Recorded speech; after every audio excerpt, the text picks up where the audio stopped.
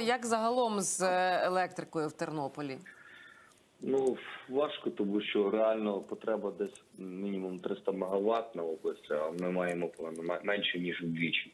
І е, тому е, дуже часто вимикають світло там, цілими районами, села особливо страждають, тому що там ще менше світла ніж в місті. Тобто по декілька годин, по дві години в день дають, по три, по чотири, залежить як де.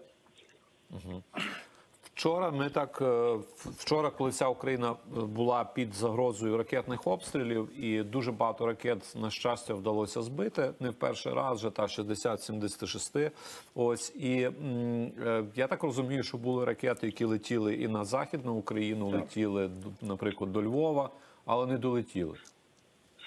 Не долетіло, тому що наше ПВО відмінно спрацювало. Хлопцям дякуємо за це і бачимо, ну працювали про ПВО. Ну в нас в області не було, але в сусідніх областях спрацювали. Це Хмельницька область, Рівненська, там, тобто де е, реально позбувалися ці ракети, тому слава Богу, що не долетіли, і е, це е, тішить ті показники. Ви ж бачите, що майже 80% е, влучань е, з нашої сторони.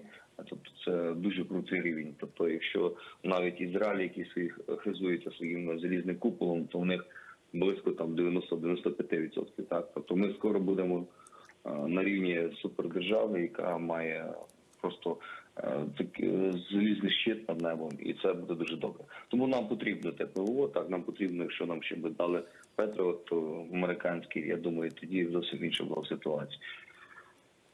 Е, Як взагалі зараз е, живе область і е, обласний центр Тернопіль, от в умовах, коли не вистачає електрики, чи працює бізнес, як, як люди дають собі раду? Люди дають раду, хтось ставить генератори, і бізнес особливо це робить. Ставлять там ті батареї, інвектори, тобто по-різному рятуються і розуміючи, що життя продовжується, треба виходити з ситуації, яка є. В нас працюють е, е, ті пункти, так е, е, порятунку, там незламності. І ми, до речі, обласна рада виділили більше 40 наших комунальних закладів, яких у них розташовані якраз пункти незламності. Тобто там є світло, там є генератори, там є теплий одяг. Ну все те, що необхідно. Тому бізнес підлаштовується, і я бачу просто, що дійсно маса людей, особливо тягнуть генератори з-за кордону. Хтось нові купляє, хтось бушні, але для того, щоб не зупинялося виробництво. Ну і звісно, тобто це воно б'є по кишені, тому що собівартість там, наприклад, чи та саме кафешка, чи це я не знаю, там млин, пекарня, яка працює на генераторі, і на такому світлі це зовсім інша умова. Ну е, собівартість, але щоб не зупинилося, щоб не стало бізнес, щоб люди не залишилися без роботи, мусимо виходити з тої ситуації, є.